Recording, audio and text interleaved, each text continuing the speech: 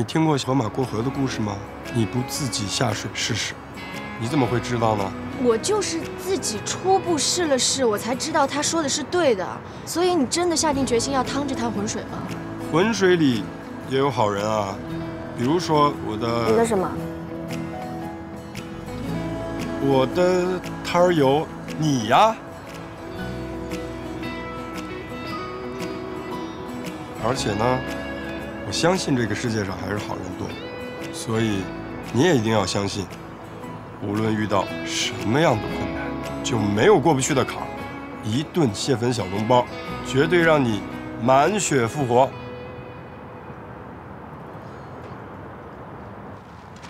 我也相信这个世界上有好人的存在，但是也许我的运气不是很好，所以我遇到的好人很有限。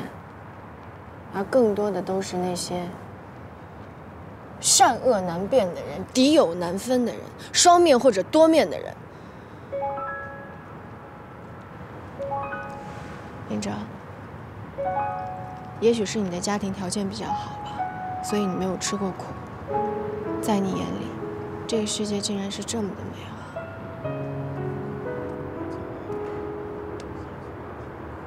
其实。我的家庭条件并不好，只是我的家人把我保护的比较好吧。橄榄油，鞋垫鞋刷子，来看一看。干了油，鞋垫鞋刷子。哥，我饿，我想吃火腿肠。那玩意儿吃了上火。哥再帮张婶看俩小时摊子就能吃饭了，再卖出去两副，哥就带你吃大菜包子，好不好？跟哥一起叫啊！嘎了油！嘎了油！我的爸爸是地质勘探员，常年在深山老林里找矿。后来好不容易跟我妈妈团聚了，可是我妈妈生我的时候是高龄产妇。难产，去世了。没过几年，我的爸爸也去世了。原来你也……我也是吗？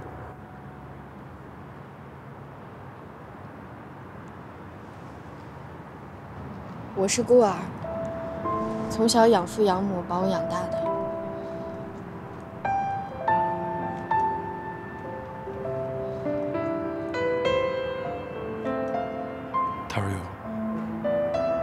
不管在这座城市生活有多么的不容易，不管公司这滩水有多浑，我希望你能相信，明天会更好的，生活也一定会善待我们这些人的。虽然咱们都是孤儿，但是我们两个现在活得不也挺好的吗？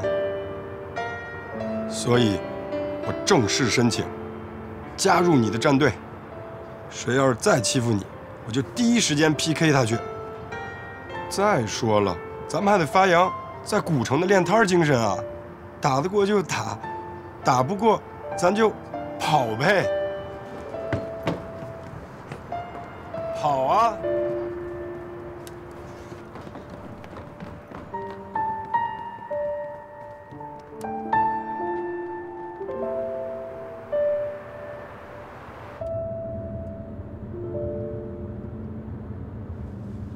老大，您别说啊，还真挺像唐总设计的。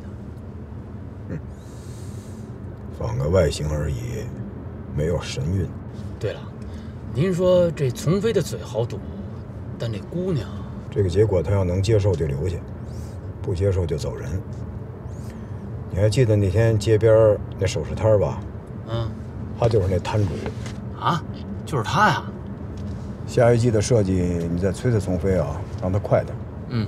另外，在现在的基础上，多加一些唐老师的影子进去。嗯，没问题。对了，老大，刚刚呢，戴安的王总呢来电话，他希望重启对以往的投资，呃，想尽快跟您签合同。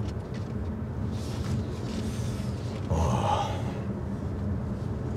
你回复他啊，说我明天去他办公室直接签，别再搞那些。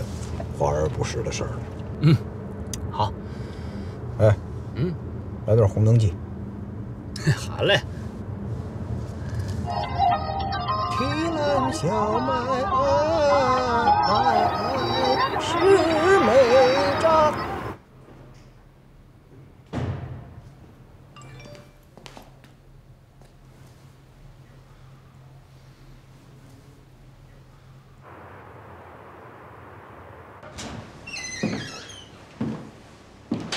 急事儿啊？电话里不能说，我这忙着呢。这事儿我得当面跟你说，但我说了，你可别骂我啊！你又捅什么娄子了？我偷看了这几个月的报表，跟你说过了，你那黑客的小尾巴别露出来，这样会害了你。你怎么不听啊？哥，发布会的视频我看了，我不知道你现在压力这么大呀，我想帮帮你。再说了，我也就是黑进去看看，也没黑他什么呀。但我还真发现了点小问题。发现什么问题了？你的申报经费全部被拒，一万品牌现在经费紧张。我自己的事儿不用你管。我还发现了一个问题，在财务部的内部流程里，所有有关一万品牌的申报经费都要由李卓然亲自审批才能通过，但别的品牌只要由副总或者王总监的审批就可以了。确认吗？对啊，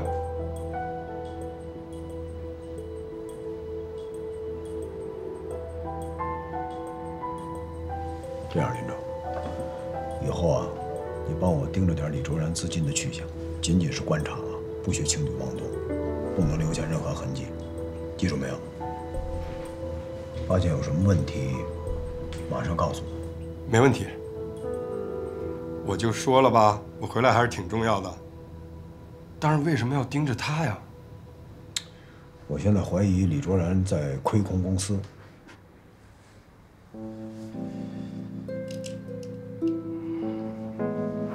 昨天的发布会，相信大家都看了。新一季的特别纪念款已经有了，但是主打还没有。林总那边又催我了，要求我们设计部一周内必须上交新的设计初稿，否则季度奖金取消。从今天开始，你们进入紧急状态。我不管你们在公司睡也好，在家熬夜也好，我要看到设计，好设计。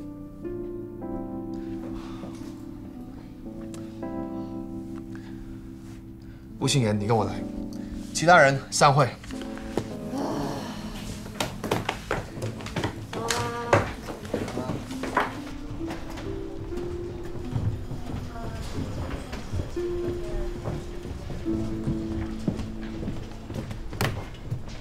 关门。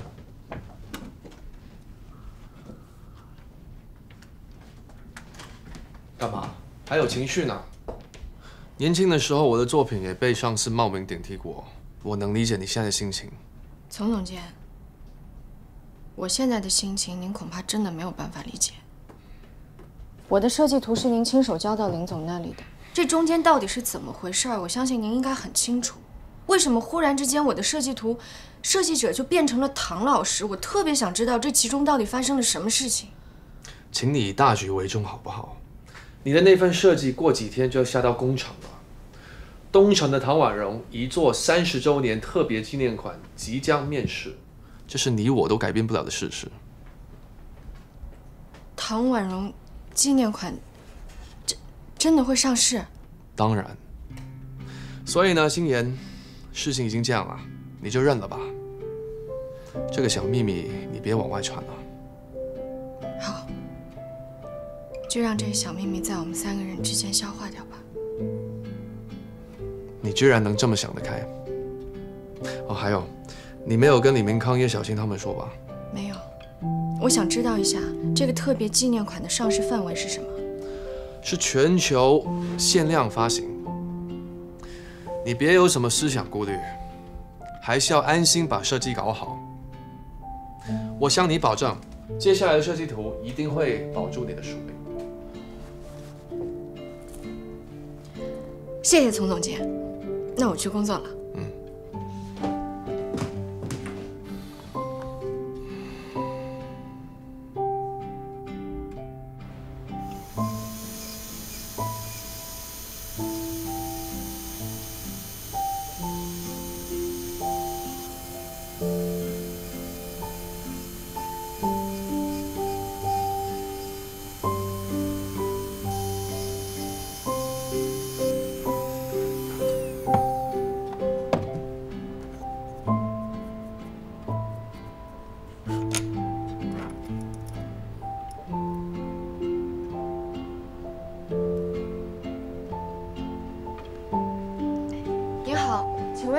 作间是对所有员工都开放的吧？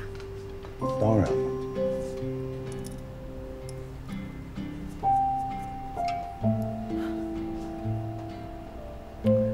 怎么着？跑到这儿来跟我兴师问罪来了？林总，您真是想太多了。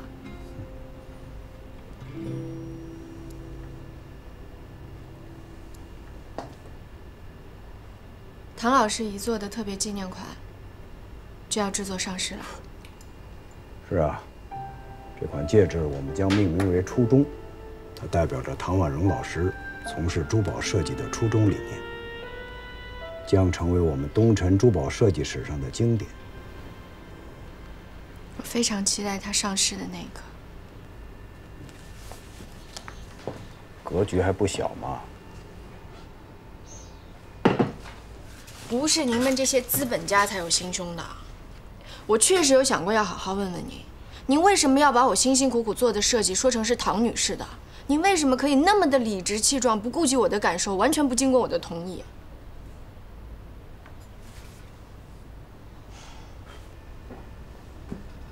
但是我知道，我是东城的员工，是这座大厦里的一份子。我分得清孰大孰小。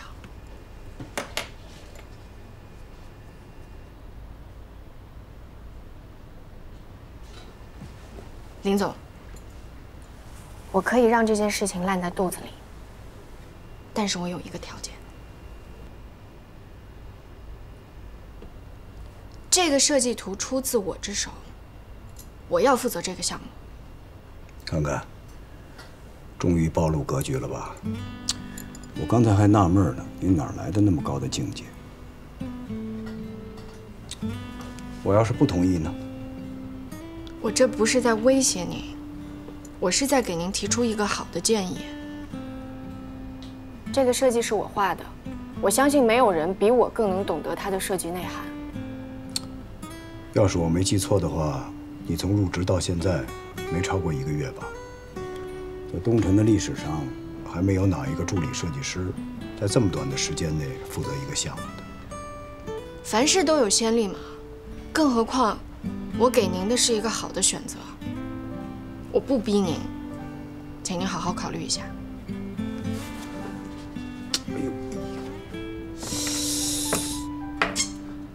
出血了，我还记得我带创口贴呢。没事，没事，没事，这是常有的事儿。这感染了怎么办？要贴了。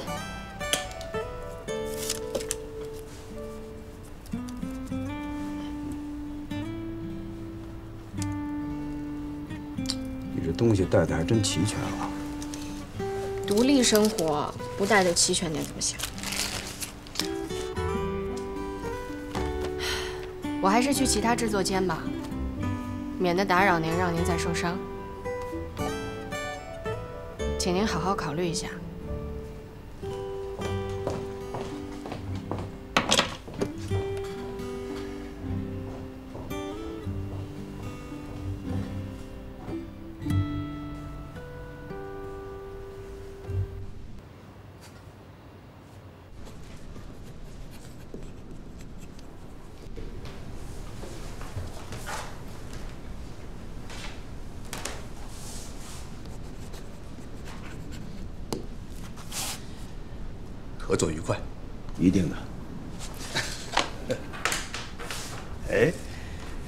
总手上的创可贴可卡通了，哦，哼，不小心把手给划破了。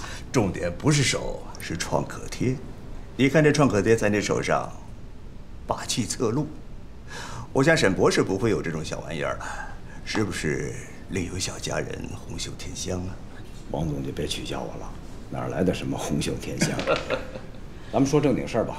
这件事情刚开始有些挫折，但是结尾还是很令人满意的。放心，款项一定在三日之内到你账上，以表达我对以万的美好祝愿和充分的信心。谢谢。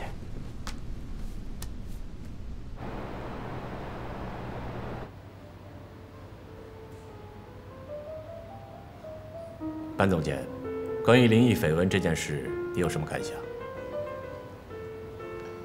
林总处置得当，不愧是东城的总经理。回答的很有咱们东城销售总监的水平嘛。但是明人不说暗话，你桌子上装照片的纸袋子，是我让人放的。放心，我不会把这件事告诉林毅。不然恐怕班总监就要另谋高就了。这件事情的走向是我没有想到的，还请董事长多多理解。这件事的走向虽然失控，但整个过程很流畅。我看到了你的行动力、决断力，一点不差于男人。咱们东辰向来有销售总监直升主管销售副总的传统。班总监，我希望你能再加把劲。我虽然是女人，不过我也有自己的愿景。董事长，我愿意为您尽一份力。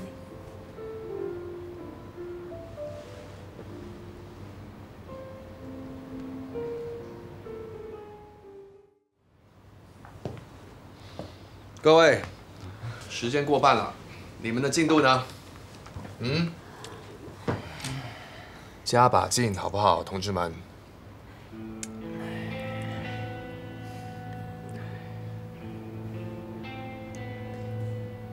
李明康，啊，进度怎么样？那个还在构思当中，但已经有思路了，总监。嗯，从有思路到设计完成，还有很长的路要走，时间来得及吗？各位，你们就算不为自己着想，也为部门想想。再这么下去，你们还有脸去公司食堂吃饭吗？嗯？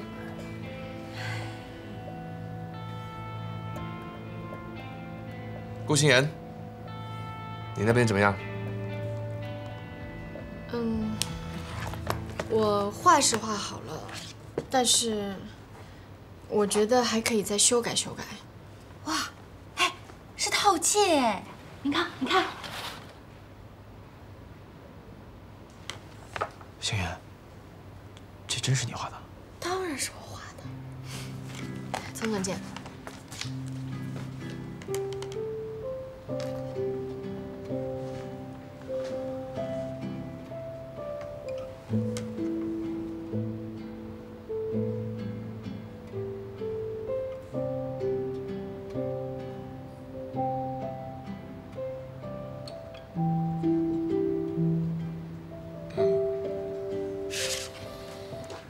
讲吧，为什么会选择用套戒做设计？嗯，我这个设计呢，我给它命名叫做灵犀。灵犀顾名思义就是心有灵犀。我认为心有灵犀也可以是母女之间的感情。嗯，我的灵感来源于我的家人，所以它的外观呢是一只大手裹着一只小手。当这个套戒拆分的时候，就意味着女儿已经长大成人，母亲眼看着女儿出嫁。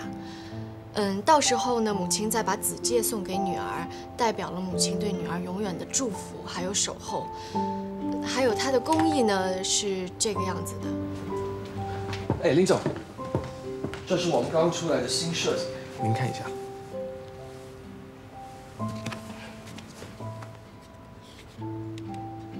套戒，这款套戒被命名为灵犀。灵犀，设计灵感来源于人跟人之间的灵犀感应。套戒叠戴时就像两只手触碰在一起，而当它们分开的时候，则代表着人们对重逢的期待。最妙的是，这种灵犀感应可以是情侣，也可以是母女、父子，甚至是兄妹、闺蜜。顾星言设计的吧？啊，你怎么知道？凭感觉。嗯，是，这个顾星言挺有灵气的，是我重点培养的对象，稍加要求和指导，进步神速。尽快把材料报价做出来，争取早点出样品。另外，你扫描一份设计图给我。好的，林总。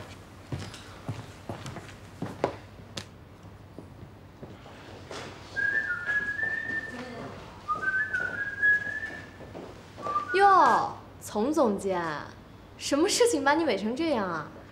设计稿通过了，给我瞻仰一下大作呗。天机不可泄露。哎呀，好久没运动了，我还是走楼梯好了。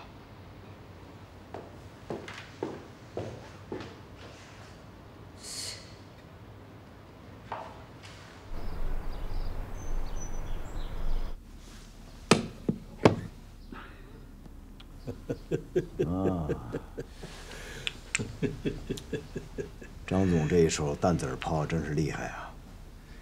不光保住了炮，还别了我的马腿儿，姜还是老的辣呀！看来我还得跟您多学习。你那一招借绯闻造势也很漂亮啊！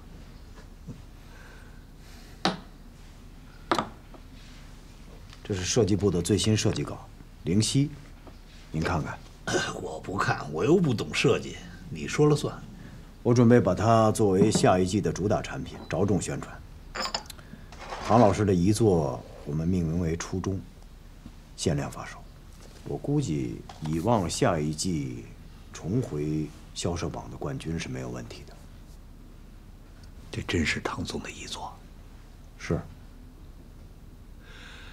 可是我听说，唐总去世之前，在医院里生活已经不能自理了，他还能搞设计啊？唐总的病情时有反复，严重的时候要卧床，但也有好转的时候。是。其实这件事并不重要，只要是东辰说他是唐总的遗作，他就是唐总的遗作。但是后边的事还是得干得漂亮点啊！您放心吧。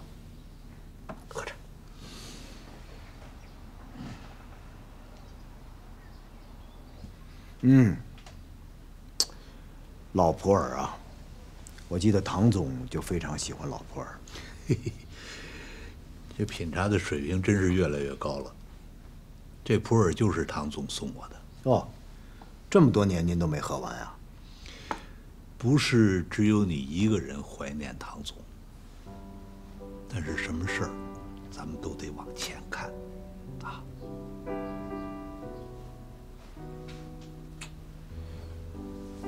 如果以望能够重新起死回生，在出售东辰这件事情上，您能不能站在我这一边？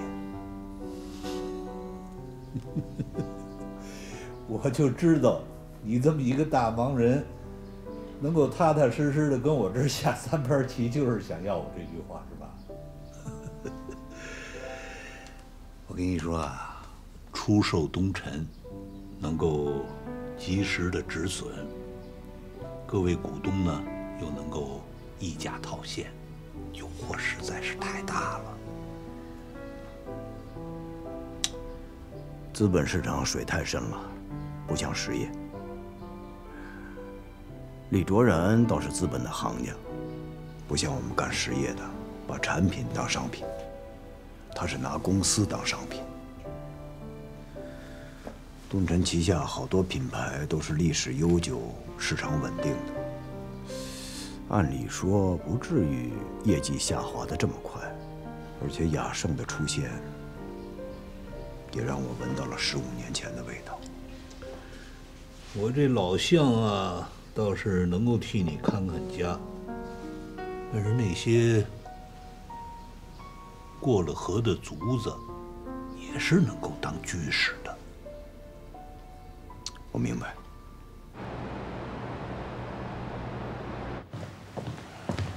老大，哎，赶快通知丛飞啊，让他今天下午三点准备关于灵犀的报告会。嗯，重点强调，公司会有重量级董事参加。明白。还有啊，那几个重要的广告商，马上帮我约一下。没问题。下午三点？对啊，林总的原话就这么说的。怎么可能来得及啊？这马上就要午休了。这还有三个小时呢，完全来得及啊！能不能告诉我发生什么事？嗯，在我沈博的工作守则里就没有多嘴这一项。看在咱俩关系在这儿呢，我就跟你说，林总的日程安排里上午会见了张汉营同事。好，我知道了。哎，别忘了啊！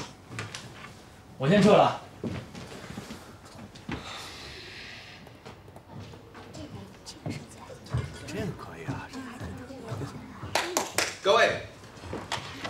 刚收到通知，今天下午三点，我们设计部举行报告会，向股东汇报灵犀以及 Evon 下一季的工作。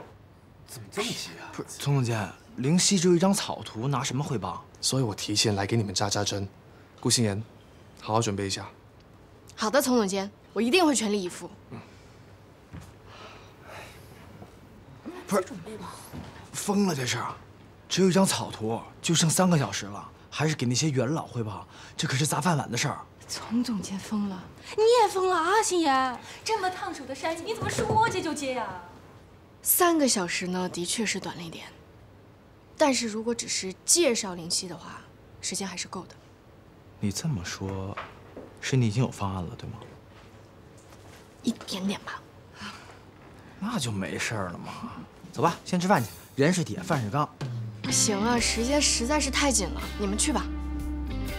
真惭愧，想当初我刚进东城时候也像你那么拼，但这已经是昨日黄花了。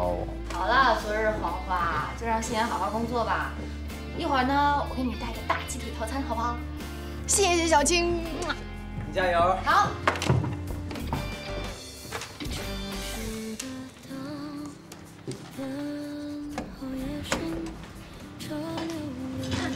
哎，坐坐坐，都坐都坐。开始吧。今天为各位介绍的就是乙方品牌新一季的主打产品——灵犀套件。这套灵犀套件是我们设计部为乙方品牌量身打造的，由我指导，由加拿大拉塞尔学院珠宝设计专业毕业的顾信言设计。下面请顾信言来具体讲解。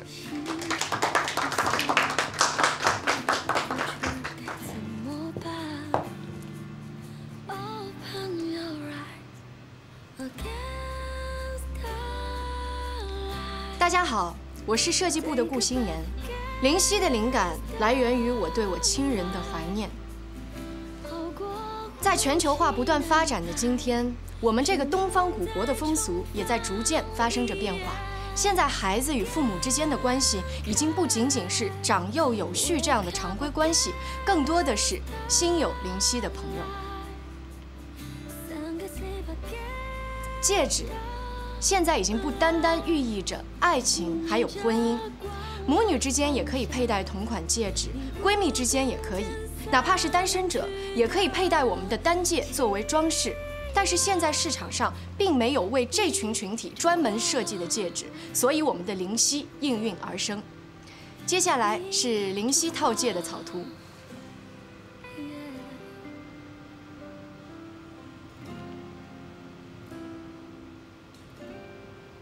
手心的痣，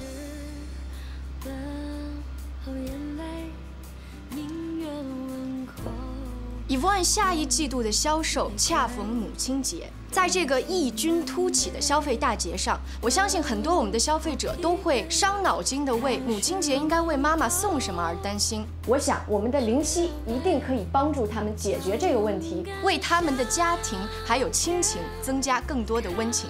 以上就是我对这组灵犀套戒的阐述，谢谢大家。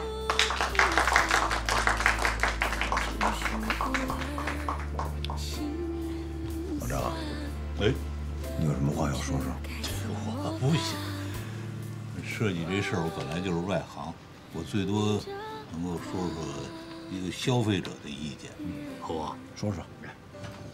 这个作为一个消费者来说，我觉得这款灵犀很漂亮，很光鲜亮丽，很别致，一定能够成为市场的宠儿。好。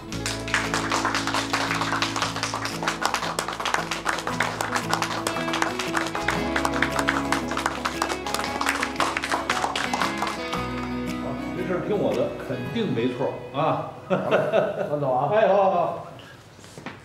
那下一步你们设计部就开足马力往前推进。好的，林总。还有别的问题吗？没有了。我有，你说。我还是想要跟您申请一下关于成为初中系列的负责人。顾青言，你是不是有点太过于执着了？设计部的内部工作分配，你应该向我请示才是，怎么能占用林总的时间呢？丛总监，对不起，请您理解一下，我我并没有想说越级请示工作，而是偶然有一次机会，我遇见了林总，我已经跟他提出过我想要成为初中系列的负责人，所以今天再遇上，我想再申请一次。初中只是纪念款，你为什么对他这么执拗呢？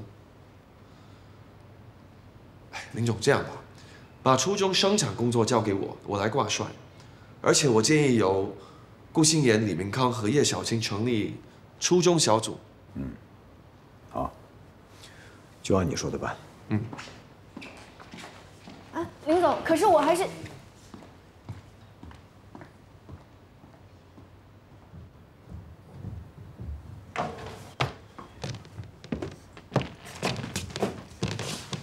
你知道你在跟谁谈条件吗？那是东城的总经理。可是总经理和助理设计师不是职务上的称谓吗？又不是人格上的尊卑。顾心言，我要跟你说几遍，你得感谢你有的那点才华，要不然就你刚才那个态度，就能被扫地出门了。我年轻的时候就吃过太重的亏，我告诉你的每一句都是我的教训。从你进设计部到现在，我给了你不少出头机会，你知不知道？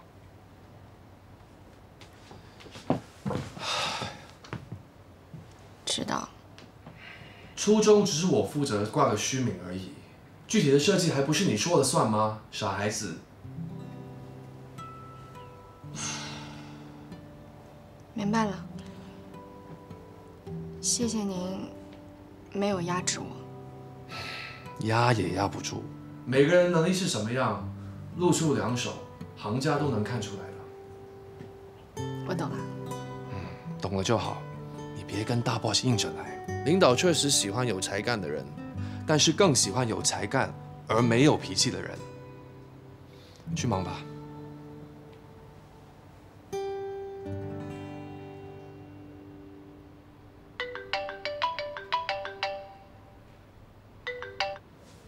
喂。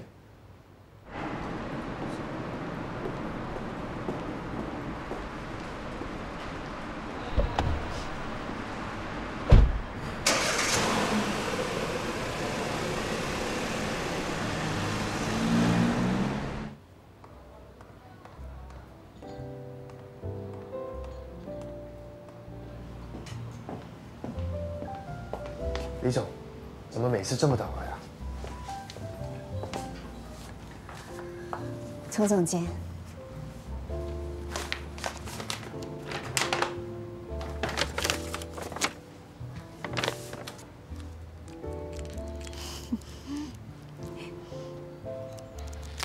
好笑吗？我一直有一个问题想问你啊，为什么你每次都要现金呢？我喜欢数钱。你是学设计又不是学会计的，还有这个爱好？设计换成货币才能继续爱好下去，要不哪来的动力呢？哦，那有什么新东西吗？没有。我听说以望新一季的主打出来了。你怎么知道？这个圈子只有这么大小，主要角力的公司又只有这么几间，人员调动又非常频繁，就算签了竞争协议。也没有可以瞒得住的事情，是吗？下次换茶，我咖啡有点过敏。好啊，哎，这么着急要走啊？我们这种打工的啊，不像你们有钱有闲的大 boss 一样，你们的时间可以选择七十二小时疯狂工作，或者选择疯玩几天，都是你们的自由。我没这个自由，可是你已经是高级打工仔了。那就更没自由了。我这么爱钱，就是为了自由。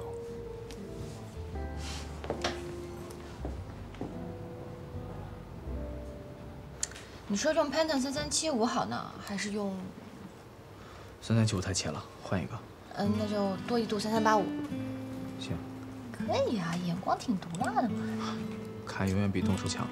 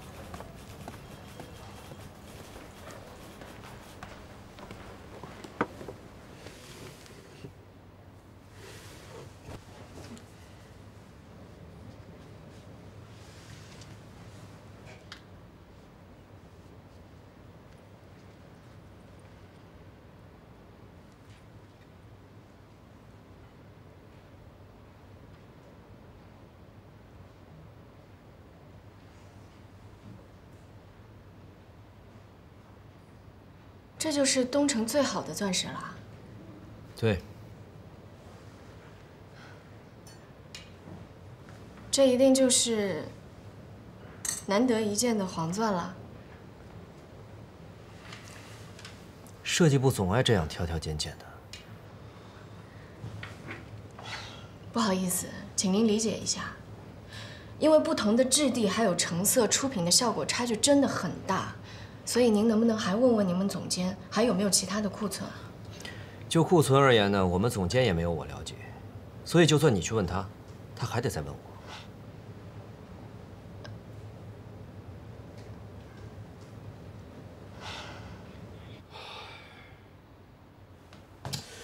又故意把最烂的钻石给我们，故意。可是采购部也是东城的采购部，他们这么做的理由是什么？不懂了吧？采购部是李卓然亲自控制的部门，现在的 Evon 就是他眼里的钢针，怎么会把最好的钻石给我们？这样吧，你去跑跑市场，找到好原材料后做个预算给我，钱的事情我让林总去想办法。好，我这就去。嗯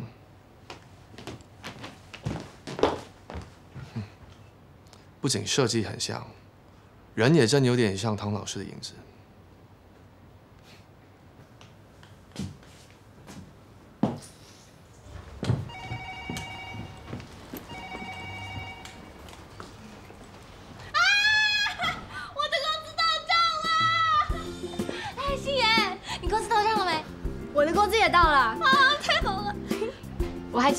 约定，如果拿到第一个月的工资的话，就要请你吃饭。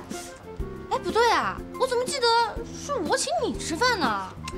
哎呀，你这个前辈就让让我这个新人嘛，好吗？就这么说定了。嗯。哎呀，可是我现在要去找原材料，我还不知道晚上能几点钟结束呢。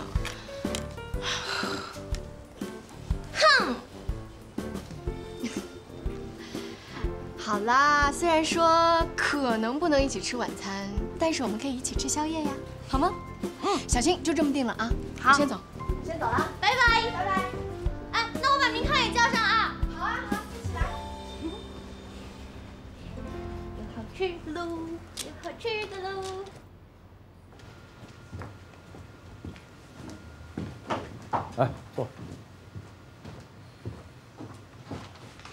这个月的整体销售额下滑了百分之二十，门店的销售额下滑了百分之三十。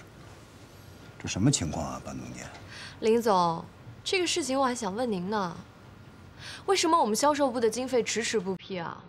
没有广告推广，那我们的营销活动怎么做啊？